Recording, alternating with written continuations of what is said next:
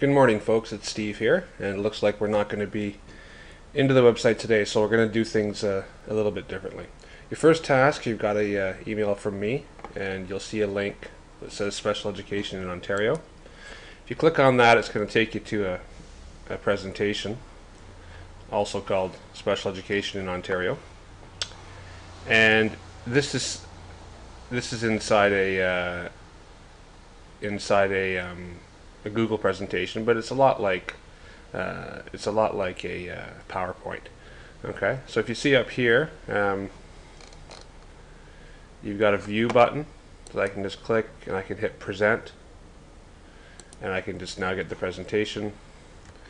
I can start to just flip through here using the down arrow, and I can take a look at uh, the presentation that we've got. Okay, and it goes through for a number of slides uh, that takes us through the ideas around special education, uh, all the way through to uh, what happened in Ontario in 1980 and the Education Amendment Act, uh, and a number of the different rules and regulations. You're going to see a lot of different things with these PPMs here. Um, don't be too concerned with with uh, remembering them or memorizing them. They do just speak to the fact that that uh, occasionally the government does have to add things to um, the Special Education Act, um, and a lot of them around things that just weren't covered the first time, or things that are new, uh, such as rules around the literacy test, which uh, wasn't around in 1980.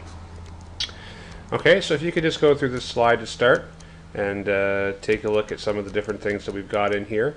Um, it does lead us up uh, to this case study, which you've probably heard about the Eaton versus Brant County Board of Education. You may have uh, had that covered uh, in your um, in your ed degree, um, but just use it to refresh yourself on uh, on what happens when families and schools don't agree on appropriate placements.